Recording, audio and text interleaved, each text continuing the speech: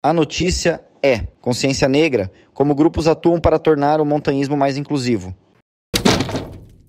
Pela primeira vez, o Brasil celebra o Dia da Consciência Negra como feriado nacional. Mais do que uma simples pausa na rotina, o dia 20 de novembro representa um convite à reflexão sobre os desafios enfrentados pela população negra em diferentes contextos, incluindo os espaços de lazer e práticas esportivas. Historicamente, o montanhismo tem sido considerado uma atividade elitista, com barreiras econômicas e culturais que limitam o acesso e refletem a baixa diversidade entre seus praticantes. Apesar disso, a representatividade negra nesse universo tem crescido ano após ano, impulsionada por iniciativas que promovem inclusão e igualdade. No Brasil, grupos como o Negritude Outdoor e o Afro Trekking têm liderado ações que ampliam a presença de pessoas negras em trilhas e montanhas, destacando a importância de ocupar esses espaços como uma forma de resistência e protagonismo. O projeto pioneiro Escalalec, na Bahia, conecta jovens negros da Chapada Diamantina à escalada em rocha, unindo esporte, educação e conscientização racial. Outra iniciativa que merece destaque foi um curso de introdução à escalada em rocha no Quilombo Calunga, realizado na Chapada dos Veadeiros. Esse projeto capacitou moradores locais, oferecendo uma porta de entrada ao montanhismo em uma das maiores comunidades quilombolas do Brasil. No cenário internacional, os Estados Unidos, país historicamente marcado por conflitos raciais, tem se destacado com ações transformadoras. Um exemplo é a Full Circle Everest Expedition, realizada em 2021 2022, que marcou história como a primeira equipe composta exclusivamente por montanhistas negros a alcançar o cume do Monte Everest. Essa conquista trouxe visibilidade à luta por inclusão nos esportes de aventura, inspirando novas gerações de alpinistas ao redor do mundo. Além disso, coletivos norte-americanos têm desempenhado papéis importantes na promoção da diversidade no montanhismo e na escalada, como Brown Girls Climb, focado em mulheres negras e indígenas, promovendo eventos e criando uma comunidade de apoio. Brothers of Climbing, criado para oferecer um espaço seguro e acolhedor para pessoas negras na escalada. Climb the Gap, sediado em Los Angeles, reúne escaladores negros e busca promover a diversidade no esporte. Black Ice, inspirado no documentário homônimo, incentiva a participação de afro-americanos na escalada no gelo, Memphis Rocks, um ginásio de escalada sem fins lucrativos que prioriza o acesso à comunidade negra e outras populações marginalizadas. Essas iniciativas, no Brasil e no mundo, mostram como o montanhismo e a escalada podem ser ferramentas poderosas de transformação social, quebrando barreiras, desafiando estereótipos e ampliando horizontes. No Dia da Consciência Negra, é essencial